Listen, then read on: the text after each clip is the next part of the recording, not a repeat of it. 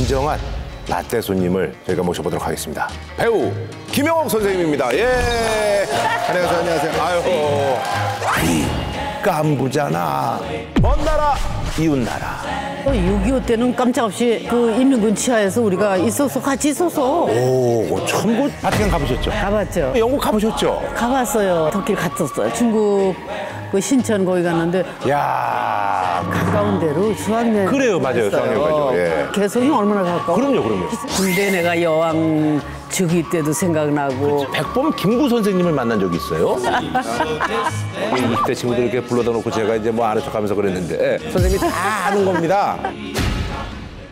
에티오피아의 하이레 세레사 황제가 엄청난 금기인데 이걸 깼다고 합니다. 오 1983년 5월 5일 춘천상공에 정체불명의 나타납니다. 정말 별 역사가 다 있구만. 일단 말이죠 그 남편 파경설이 엄청 돌았어요.